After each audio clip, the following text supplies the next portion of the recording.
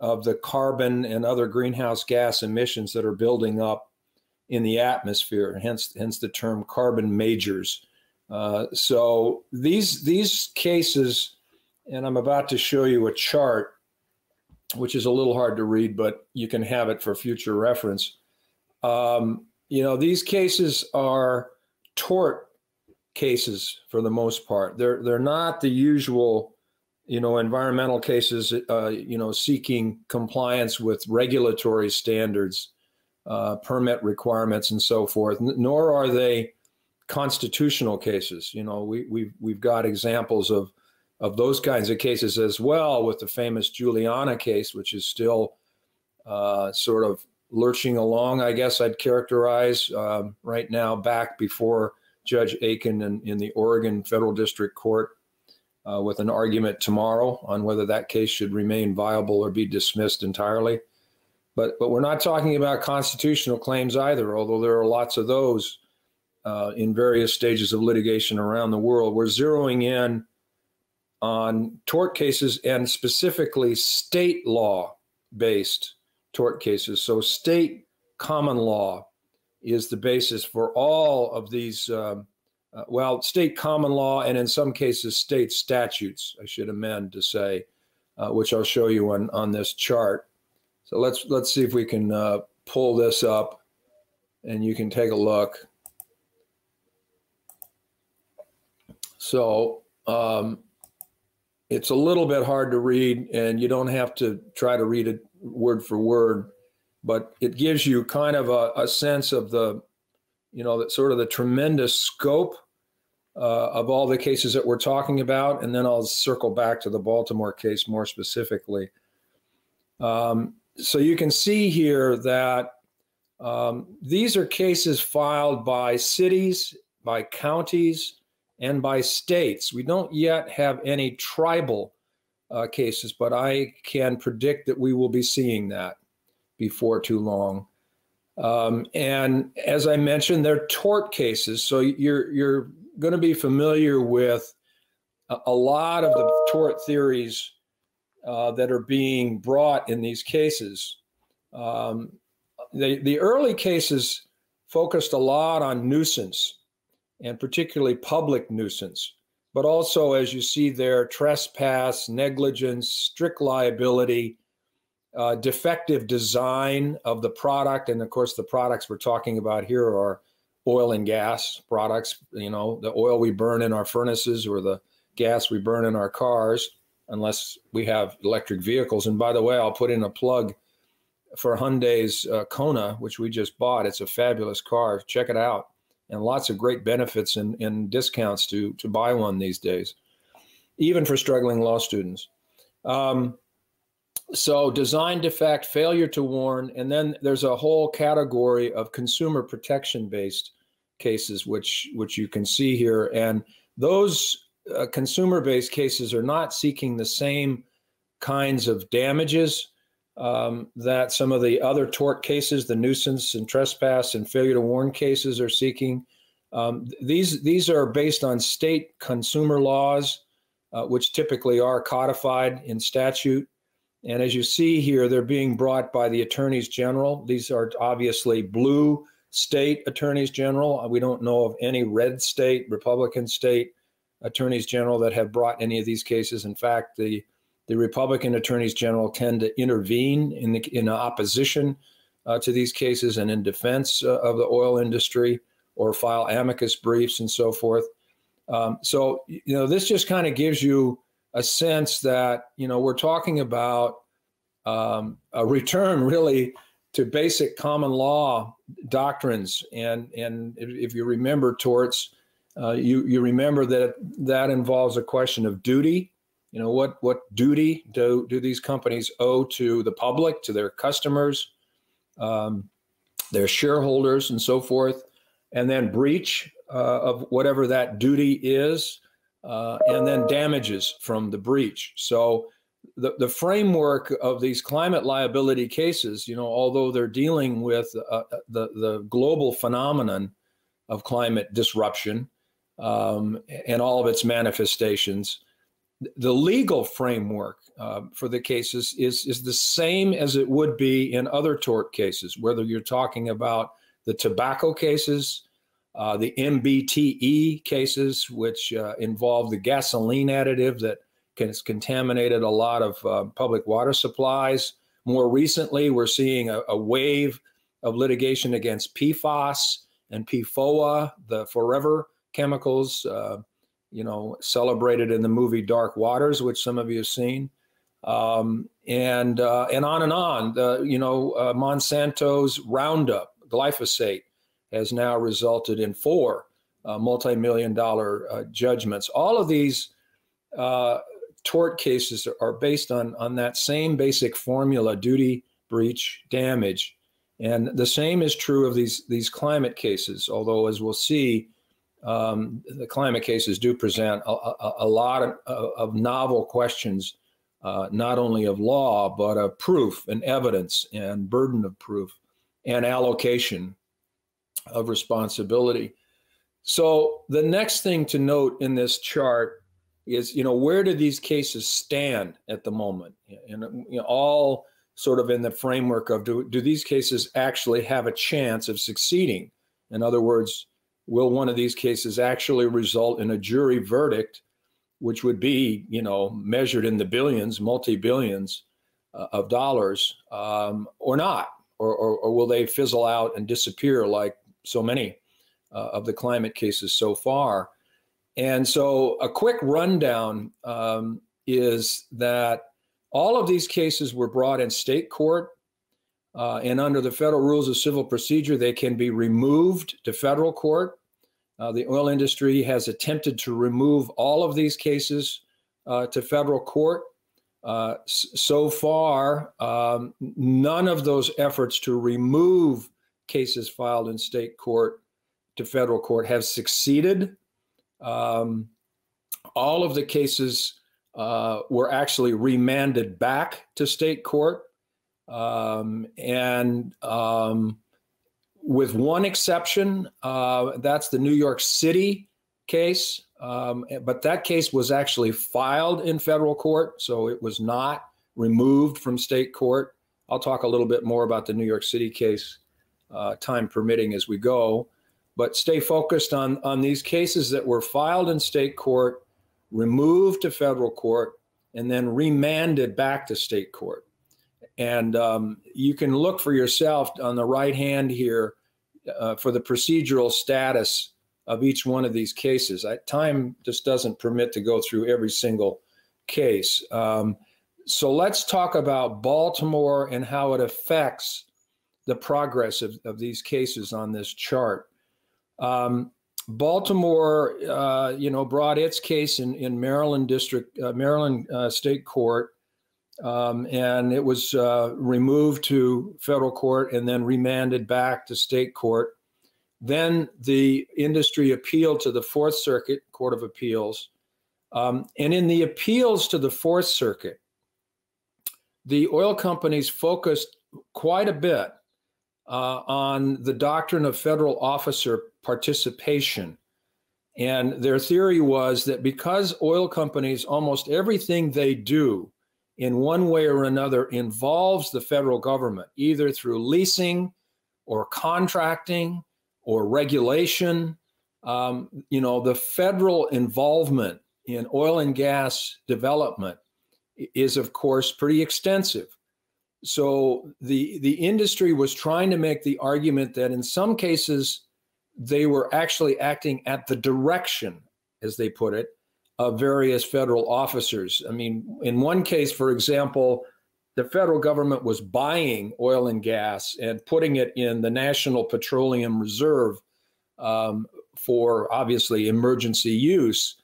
And you know the the industry was arguing that kind of federal directive or federal involvement uh, triggers federal jurisdiction. They had seven other possible grounds for federal court jurisdiction in addition to the federal officer uh, involvement. And so when the Fourth Circuit took up the appeal uh, of the remand of the Baltimore case back to state court, it focused solely on the federal officer question, not the other seven grounds um, that the industry was arguing. And it's a convoluted argument based on the text of um, federal law, federal civil procedure, which I'm not going to spend any time on because it really doesn't matter at this point. Uh, what the Supreme Court said is the Fourth Circuit was wrong to just focus on that sole ground of federal officer involvement. The Fourth Circuit should have considered every conceivable basis that the industry was arguing uh, for why the court, why the cases belong in federal court, notwithstanding that the cases, the pleadings in the cases, the complaints in the cases uh, make out solely claims based on state law. There's no reference whatsoever to federal law in the complaints that have been filed in these cases. They're, they're strictly state common law based claims. And the reason for that is twofold. One, the Supreme Court has ruled in another case called AEP, American Electric Power, versus Connecticut, that there is no federal common law basis for claims for either injunctive relief or damages against the oil companies. No federal common law basis for those cases. So there have been several cases brought based on the uh, on the idea that there was federal common law. They've all been dismissed, and no one argues any longer that there's any basis for these cases in federal common law. Second, nor is there any basis in the Clean Air Act for these cases. These are damage cases. These are cases seeking money for the damage that climate change is causing, um, not injunctions. these are not cases seeking to enforce any regulatory requirements of federal law at all. Um, so the Supreme Court didn't reach any of those uh, specific questions in the Baltimore case. It didn't reach the merits. Justice Gorsuch wrote the opinion. His very first uh, paragraph in the opinion said flat out this case has nothing to do with the merits of the claims that have been brought, which of course was a big sigh of relief uh, to the plaintiffs in these cases because there was some concern that the Supreme Court, even if it didn't explicitly rule, which was unlikely, on the merits of the cases, it might say something fairly negative uh, about these cases, but it didn't. It, it stayed completely away uh, from the merits of the cases. Uh, so the upshot of the Baltimore case is that not only was the, the Baltimore case sent back to the Fourth Circuit uh, to consider these other possible grounds for first uh, federal jurisdiction, but several of the other cases that are on this chart were also sent back, including the Boulder case. Uh, the city and county of Boulder have brought actions against the oil companies um, for, among other things, the drought and the interference with uh, water supply and snowpack and so forth that's occurring in the West. Um, the same thing for Rhode Island. That case was sent back um, to the uh, First Circuit um, uh, for further proceedings. Um, and the Ninth Circuit cases uh, uh, involving uh, San Francisco and Oakland San and San Mateo. So, uh, four different circuits had cases pending, appeals pending on this question of federal jurisdiction. And as a result of the Baltimore case, it's clear now that we're going to see another period of time pass while each of these circuit courts deals with these remands. Um, and there may be, you know, further uh, uh appeals of some of these other cases as we go forward. Uh, and the rule now is going to be whatever the whatever bases the oil companies are arguing for federal court jurisdiction, those have to be adjudicated through the appeals process um, in the federal courts. Uh, my prediction on this is that these are not stoppers. Uh, I've looked at every single opinion that's been written in these cases, and with one exception, they have all rejected every one of the grounds for which uh, on which the uh, oil companies are claiming federal court jurisdiction. Um, if there's questions about that, you can ask me at the end. But Uh, my read of the cases so far and, and the law, sort of in general, uh, is that there is no basis in federal court uh, for these cases to be removed from state court. And, and therefore, after this period of time while we sort out, you know, some of these jurisdictional arguments, uh, my prediction is these cases are going to wind up back in state court. Now, one thing to keep in mind is that even though the cases are being litigated in state court, that doesn't prevent the oil companies from making arguments like federal law does preempt some of these state common law cases. And one of the arguments uh, that the oil companies is making is that the Clean Air Act preempts any of these state common law cases. The problem they're going to face in that argument is that the Clean Air Act, like the Clean Water Act, contains an, a specific savings provision, uh, which was specifically designed to preserve state common law claims against entities regulated under the Clean Air Act. And, and we have quite a bit of, of precedent uh, for that point. What we haven't seen, of course, is a case quite like this, which is against the producers of the products, not the power plants that are emitting or the other industrial sources that are emitting uh, the greenhouse gases. So there, there is an interesting legal question of does the Clean Air Act apply at all um, in these cases? The industry, of course, is going to argue, and it's true, that the basis for the state claims for damages is based on the emissions. It's not based on the process of extracting and transporting uh, the oil and gas. It's based on end use consumption of oil and gas and the emissions that result from that. So that's one of the novel questions presented in this these cases, and that is how should the Clean Air Act be interpreted in the context of these cases, and more specifically, how should the savings provision be interpreted? It you know it has if the Clean Air Act applies, then the savings provision does apply and it must save something. It can't be a dead letter, it can't be a null set. Um, and so we'll have to wait for further developments on that front. But just you know, put a pin in that preemption question because it, it's clearly one that ultimately is going to have to be resolved by the U.S. Supreme Court. Um, the, the question there is when. Um, the industry was actually hoping that the Supreme Court in the Baltimore case might say something about that and might even go even further and sort of cut through everything and just say, you know, rule by fiat almost. Oh, all of these cases are preempted. But it didn't do that. It was very careful not to do that. So now we're going to have to wait and see, you know, how the industry seeks to inject this federal preemption argument into the case and whether it can get that argument back in front of the Supreme Court before one of these cases actually gets to a jury, gets to trial. So that's something to uh, to keep an eye on. So that's enough for now on sort of the procedural status. Again, people can ask questions before we're done on any of that. It it, it is convoluted and it's multi-layered. So if there's a little bit of uncertainty and confusion, that's not your fault. Um, let's go to the broader question for a moment. Um, what kinds of damages are these cases seeking? What are they alleging?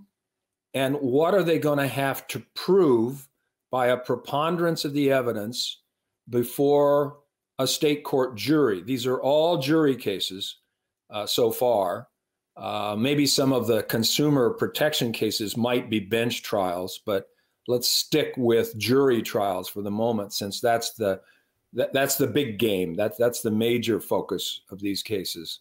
Um, and so, the first uh, uh, point is what kinds of damages. And um, the early cases, the, Calif- were the California were the earliest cases, and those were almost all based on a combination of sea level rise coastal erosion and uh, saltwater intrusion. Um, they didn't actually, at the time the cases were filed, um, bring in the wildfire, the catastrophic wildfire damages uh, that are occurring. It would not surprise me to see those come into these cases um, at some point. Same thing with the Boulder case. It was primarily about water supply um, and the interruption of sort of the regular pattern of both precipitation and runoff and the need to build bigger reservoirs to capture more of the runoff and so forth. Um, in some cases, Baltimore being one, flooding uh, with intense downfall, uh, downpours and, and rainfall that's creating these enormous sinkholes.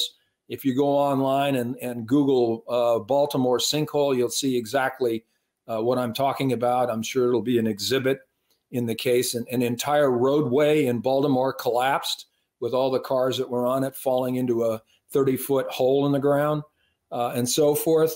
Um, and we know that sea level rise and the associated impacts uh, of flooding um, is being exacerbated by climate change. You know, flooding happens without climate change. Sea level rise to some extent, not much, uh, happens without it. Drought happens, of course. Wildfires happen, of course.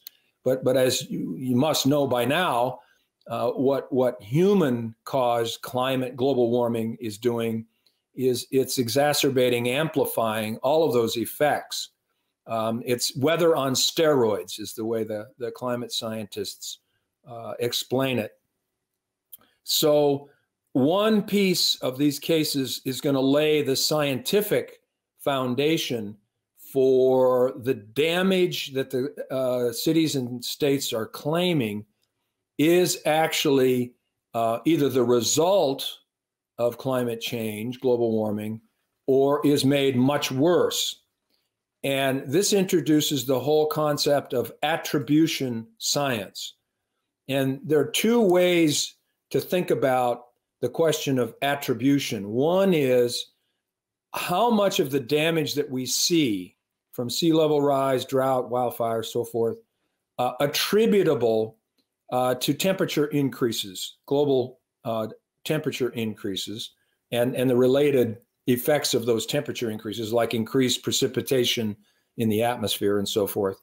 Um, so that's one question. How much of the damage you see in these extreme events can you attribute to climate change? And then the second question, and the most important question for these cases, is how much of that damage that's being caused by climate change be attributed to these individual defendants, these individual oil companies. So that that's called attribution. Uh, you might also think of it as allocation of responsibility uh, for a tort. This is a mass tort kind of context we're talking about.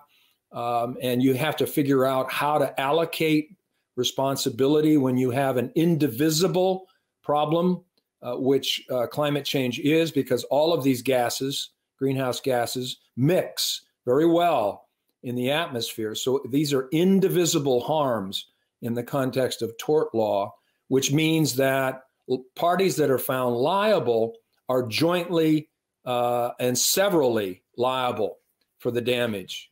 Um, and that means that any one of them um, can be tabbed, tagged with the entire cost of the damage being caused. If you think about Superfund and the cleanup of hazardous waste sites, you know, that's the most outstanding example we have uh, in environmental law of joint and several liability. Uh, and so that concept is uh, embedded in these climate cases.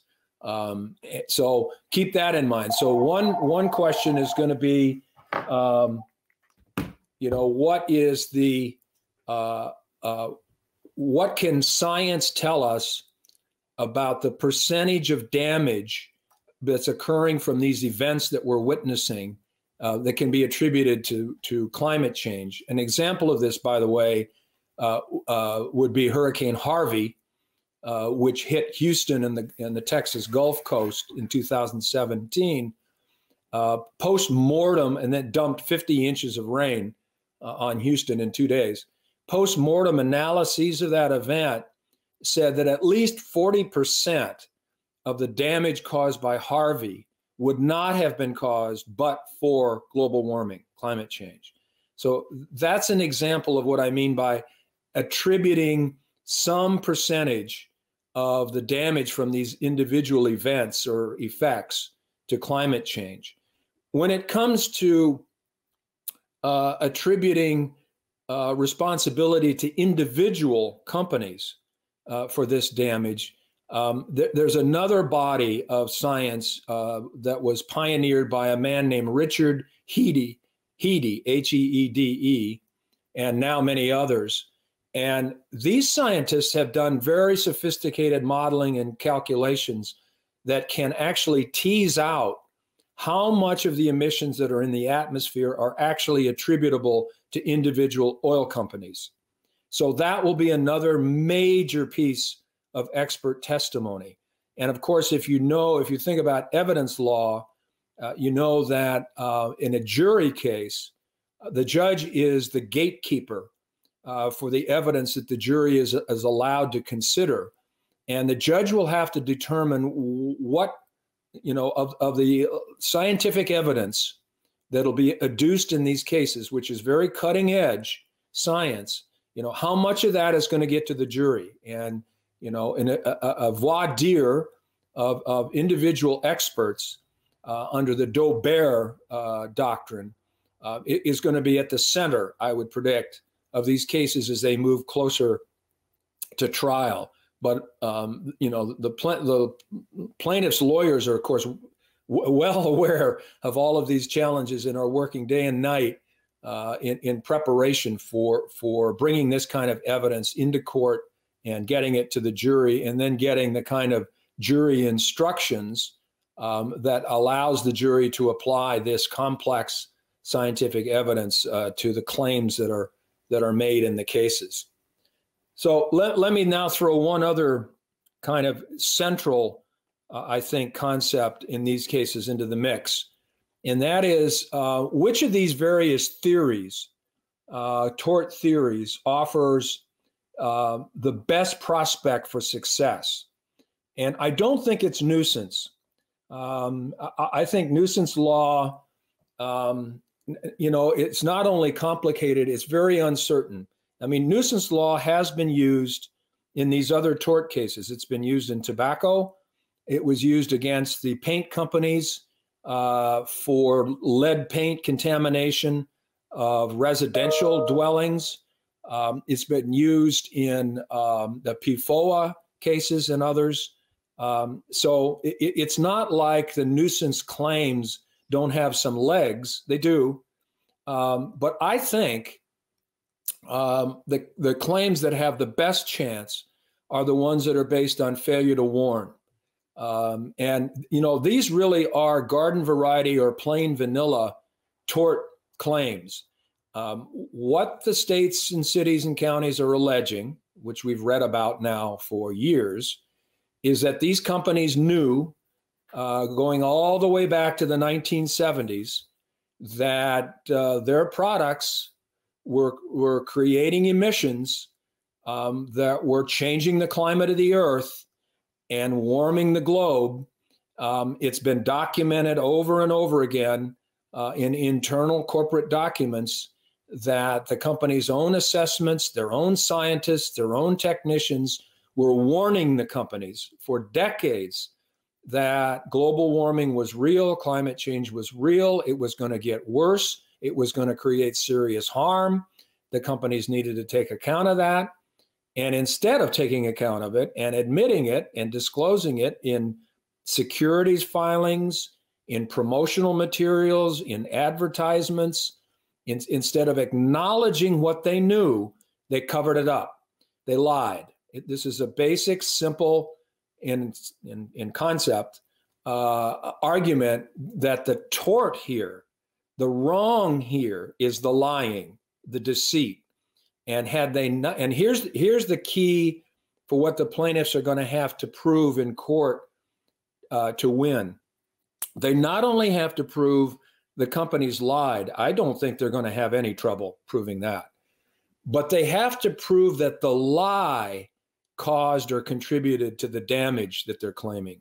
They have to be able to show that had the companies fessed up, had they been more honest, more transparent, more candid about what they knew, and also had they taken action um, to address the dangers that they knew were being created, and certainly not taken actions to oppose government efforts to address climate change. For example, the Waxman Markey bill, which died in the Senate in President Obama's first term, the industry organizations were solidly against that legislation and are credited with killing it. So that's the link that the plaintiffs in these cases are going to have to make. Not just that the companies lied, people do lie, companies do lie, um, but what was the result of the lie? And can they can they make a, a, a strong enough argument to get past a motion to dismiss or a directed verdict and get the case to the jury uh, on the basis that, but for the lies, we wouldn't be in the situation we're in. We wouldn't be facing the damages that we're having to deal with. We wouldn't be facing the challenge of building seawalls and beach renourishment and bigger reservoirs and moving people out of high hazard areas and floodplains, all of which, by the way, we're facing, um, and, and so on. So, that to me is the real essence um, of, of these climate cases. If they, if they can get uh, a court and a jury to accept that the conduct of the defendants was tortious and and is at least a significant contributor to the damage that's being alleged, um, they have a chance of winning a verdict. So, how would the damages be calculated? That's another tricky part of these cases. Um, in the first instance, um, states and counties and cities are, are shelling out money left and right, dealing with all the effects of climate change sea level rise, saltwater intrusion, loss of precipitation, uh, heat waves that are hitting major urban areas, uh, causing heat stroke, uh, and on and on. So they're going to have to then get economic testimony that calculates how much money uh, not only is, is already being spent to deal with these effects, but going forward, how much money can be anticipated um, that will be required to adapt to the extent possible uh, to what's coming. We've just seen another UN, or it's actually an IPCC report that's that's even more discouraging and, and scary than all the others. It's still in draft form, but it'll be out um, by early next year. Uh, so the, these impacts are are are are, are bad. Uh, they're going to get a lot worse, and they're going to cost a lot of money. We know that extreme weather events are already resulting in multi-billion-dollar loss uh, and damage, particularly in the United States because we have such high value real estate, um, but all over the world. So that's another piece of these cases is how should the damages be calculated? How should they be apportioned among the defendants? And on apportionment, uh, the theory is going to be market share.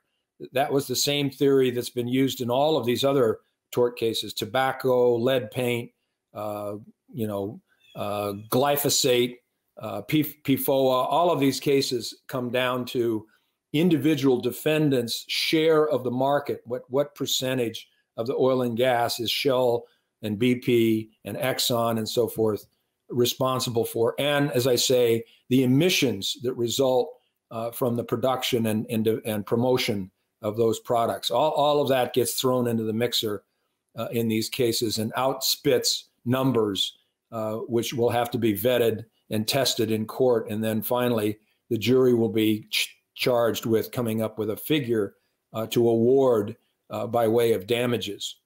And as I said, e- even if these cases get all the way to a verdict, this, this overarching question of preemption will remain. Um, and I'm almost positive that, that that's got to be resolved uh, by the US Supreme Court. Um, the arguments in favor of preemption, um, are you know pretty straightforward. The industry is saying uh, not just preemption, but but frankly a, a defense to liability. Uh, uh, you know, in general, is number one, we're making products that people want. Um, you know, it's, it's ultimately us, the, the consumers, that are responsible uh, for these problems. If we wouldn't be, you know, buying all this gasoline and burning it in our cars, uh, we wouldn't be causing these problems. Um, that, that's a little clever, uh, but but that's one of their arguments. Um, another one is this is a global phenomenon, um, and it, you know it, it, can only be dealt with in the legislative in the political process. It can only be dealt with by the other branches of government. The courts have no business assigning blame and responsibility. That's not really going to, in the end, solve the problem. And to a certain extent, they're right. Uh, you know, awarding damages doesn't reduce emissions. In fact, the premise of these cases is that emissions are going to continue, and that's the problem. Even if they gradually get reduced, or even if they are dramatically uh, reduced, there's still going to be residual damage. Uh, that's the theory of these cases. Um, so these cases are not about solving the climate uh, problem at all. Uh, th- they're about uh, compensating the victims of, of if you will, or th- those that are affected by climate change. Um, and then finally, you know, the the companies are, are going to appeal to the Supreme Court and say e- even if the Clean Air Act itself can't be read to preempt all these cases, the, the court should adopt uh, uh the doctrine of absolute preemption. Um, this is a this is mostly a, a conceptual doctrine it's it's only been applied in a couple of cases that have little to do with environmental law or climate change, um, and and it's usually where Congress has taken an action that the Supreme Court has deemed to be completely occupying some field. And that's really not the case with the Clean Air Act or any other env- environmental law for that matter. So, um, but the, the industry is intent on trying to convince the Supreme Court it should fashion sort of a new rule of jurisprudence, which is there are some problems, some issues for which the resolution does not lie in court, any court, not just not in the federal courts, but not in the state courts either. And, and that only the Congress and uh, the president, the executive branch, um, can deal uh, effectively with a global problem like climate change. So at some point, um, I, I, expect to see in the U.S. Supreme Court um, those kinds of arguments being laid before the court. And as I say, we'll have to wait and see how that works out. So, with a couple minutes to go before I stop, let me bring the Shell case into the mix here a little bit because it is uh, an important development. Um, some of you probably have heard about, read about, studied the Urgenda case, which is uh, a, the Dutch Supreme Court decision, um, which is so far the, the most significant judicial decision uh, on the question of climate mitigation in the world. Uh, and the Dutch Supreme Court actually ordered the Dutch government to immediately reduce uh, greenhouse gas emissions uh, by 25% by 2020. And the Dutch government uh, complied and adopted a whole bunch of policies and shut down some coal plants. And, and rather than fight the, the decision of the Supreme Court, um, it, it decided to, to accept it uh, and, and actually enact uh, policies and, and, and actions to, to achieve it. Um, and the Urgenda case was based on primarily uh, the European Convention on Human Rights and two, two provisions of that convention. Uh, but it was also based on Dutch tort law, Dutch constitutional law, um, and clearly, the Dutch courts are, are more open uh, to judicial intervention uh, in cases uh, where the courts are convinced um, that that intervention is justified uh, with, re- with, with due regard for separation of powers. you know, the Urgenda decision goes in great detail in explaining why climate change presents um, the kind of existential threat um, that requires judicial intervention particularly where constitutional human rights uh, are involved. Uh, so that's the background to the Shell decision. Is is the uh, Dutch Supreme Court decision in Urgenda, and then uh, the same uh, uh, organizations that brought the Urgenda case followed up by suing Shell, Royal Dutch Shell, um, again um, under constitutional and human rights arguments. Um, and in this case, uh, it's, it's the, the district court in The Hague uh, of the Netherlands that issued uh, this really remarkable decision within the last month, um, uh, ordering Shell uh, to reduce its emissions by 45% based on 2019 levels uh, by 2030. Uh, obviously, a very rapid uh, drawdown of emissions. Um, the most amazing thing about the court's decision is that it wasn't just talking about the emissions from Shell's own operations. It was talking about what we call scope three or scope two and three emissions, which means Shell's entire supply chain for delivering oil and gas to customers and end use by the customers themselves. Those are so called scope three emissions. Now, if you read the decision carefully, you'll see the court distinguished between the duty to immediately reduce those emissions that Shell actually controls. That was a hard 45% reduction by 2030, no excuses kind of ruling. When it came to the uh, consumer uh, uh, uses, the scope three emissions, the court said that Shell must use um, uh, something like all practical measures um, to reduce those emissions because you see those you know obviously involve the individual actions of millions of people um, and intermediaries so, so those are the most difficult, obviously, to to get a handle on, and the court recognized that. Um, the interesting thing is, you know, this is the first time a court has ever ordered a private company uh, to take action like this.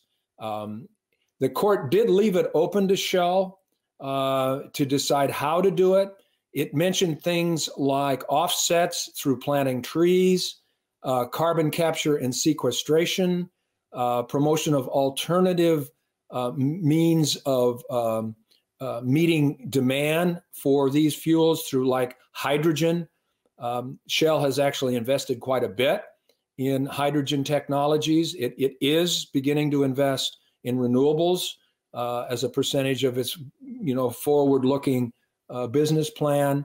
Uh, so um, the Shell decision is one to take note of. certainly, the financial markets around the world are taking note of it. Other companies are certainly taking note of it. Uh, but it will be appealed uh, to the Court of Appeals in, in the Netherlands, and that will then uh, probably go to the Dutch Supreme Court, and that will take, no doubt, several years. It took several years for the Urgenda decision to finally get resolved.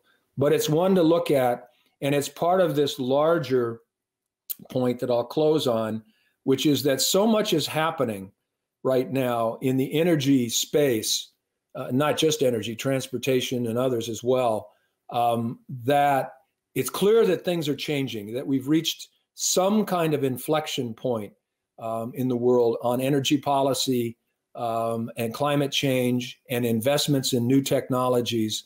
Um, it's not fast enough, it's not at the scale needed, but things are happening. And these decisions that are emphasizing the risk, this is in this case, the financial risk of continued reliance on fossil fuels, that understanding is penetrating the markets. The major banks, the brokerage firms like BlackRock, um, th- these are all indications that things are changing. And, and I'll close by saying they need to change a lot faster uh, and at a much larger scale. And now I'll stop and um, and take some questions.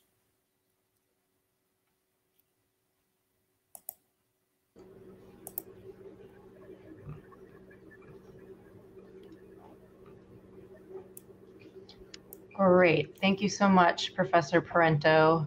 Um, intimidatingly knowledgeable, as always. Don't spit out your drink.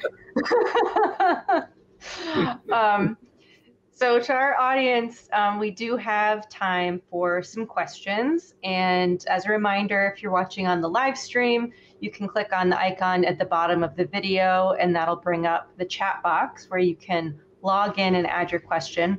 Or if you're watching on Facebook, add your question to the comment box below and we'll try to get through as many questions as possible.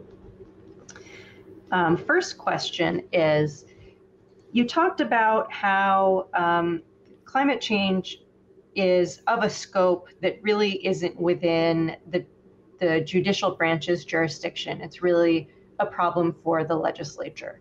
Um, and yet, you know, the, the reason that we, we haven't really been able to see any action is it seems like it keeps getting bounced around between different branches of government. And, and so, what's a person to do if the legislative branch won't do anything? Um, and they're looking for remedies in the judicial branch. Um, so what what's your reflection on that? You know, you said you said that the legislature is best, but they're not doing it. Yeah, I mean, I agree with that, and I I think the le- the judicial branch failed in the Juliana case by not recognizing that even though ultimate solutions reside in Congress, um, there were still constitutional issues that deserve to be answered. For example, you know, do we as Americans have a right to, as Judge Aiken put it, a climate system capable of sustaining human life? That strikes me as a rather important question to answer. Uh, if, if, our Constitution does not guarantee, you know, in colloquial terms, a, a livable planet, uh, then um, my goodness, um, where does that leave us? I mean, the Constitution protects lots of rights that aren't written into the Constitution. And the Supreme Court has found many rights which we highly value, um, not in the language or text of the Constitution, but in sort of um, an understanding that that what what rights people really should have. Um, so th- the idea that um, we need Congress and the executive branch to do more, adopt more laws and policies, fund more infrastructure development, and so forth you know that to me that doesn't change the responsibility of the courts to answer questions about constitutional law or in this case common law. I mean that, that's in, in these tort cases w- we're talking about judge made law. That's that's what tort law is. And it fills gaps. Uh, when when there when the legislation itself doesn't provide a remedy for damage that's occurring from people that are responsible for the damage, then that's the precise point at which the court should step in and, and provide the process um, by testing the evidence um, and determining rights and responsibilities um, and compensating people that deserve compensation. And it, it has to be done in a fair way, in a due process way. But it, it, you know, the fact that this is a big problem uh, shouldn't change, to my way of thinking, the responsibility of the courts to deal with it. Um, in fact, if anything, uh, the the fact that it is a big problem um, demands even more scrutiny by the courts and involvement by the courts, with due respect for the limits of what courts can do. Uh, you know, the courts have lots of tools. They have injunctions, declaratory judgments, penalties, mediation, uh, all, all kinds of uh, possible remedies. Uh, they don't have to take over, you know, the United States government, which is what some people claim they're doing. Um, but they can certainly articulate duties and responsibilities that aren't being met that are creating an existential threat to the well-being of citizens. That's what we're talking about. Um, you mentioned the Juliana case. You know, the that was a case that was filed in 2015 when Obama was president. Um, you know, we one of the reasons why advocates like our Children's Trust and the and the youth in that case have gone to the judicial branch is that of the three, it seems like the one that's supposed to be the most apolitical, um, and so often it, we hope it will be a reprieve from some of the uh, partisan politics around issues like climate change. Um, but the um, federal government really fought, some would say, kind of dirty in that case in their uh, procedural attempts to avoid having to say anything substantive in the case. You know, um, you know, applying for cert on every little procedural stay. Um, do you anticipate any changes in that type of approach to litigation on these cases under President Biden? Was hoping that President Biden and the new Department of Justice leadership would heed Judge Aiken's plea most recently when she sent the parties to mediation before magistrate judge who's retired now coffin.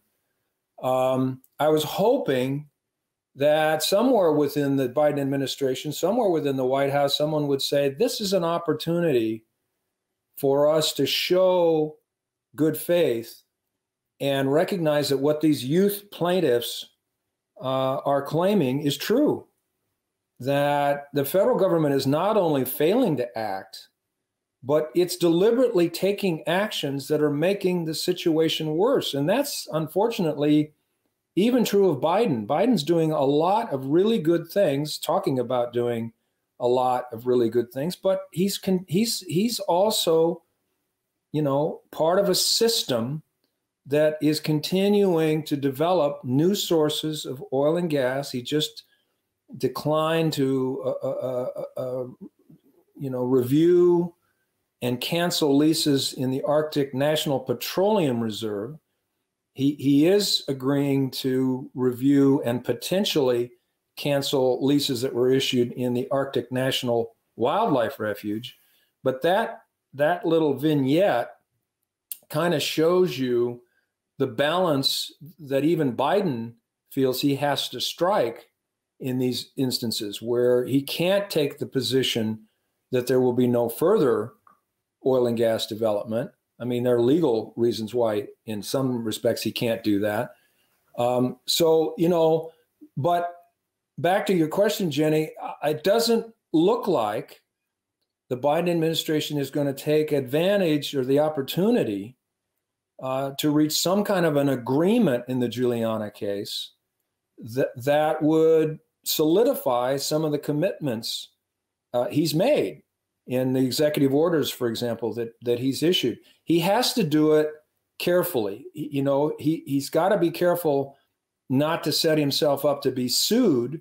Of course, he's being sued every day um, by committing to take actions before he's complied with the procedures of the Administrative Procedure Act, for example, and other other legal requirements. So he it, it is a tricky thing for Biden to settle a case and commit to doing certain things, but but a refusal to do anything in that direction would be a missed opportunity in my mind and and, and an unfortunate signal to send to these youth plaintiffs who were looking, you know, justly for for some sign that we're on the way to addressing these problems in a more meaningful way. Thank you. I like that caveat on Biden's doing lots of good things, asterisk, talking about doing lots of good things. I, I recommend that as a, a, revised title for your talk today. Yeah. All the branches are, are talking about trying to do good things. Okay. Yes. Um, well, we are we are out of time. That was that was super interesting as always. Thank you, Professor Parenteau, and thanks to everybody who joined us today. Our next talk will take place here on June 29th at noon Eastern Time, and we hope to see you then. Thanks, everyone. Have a good day.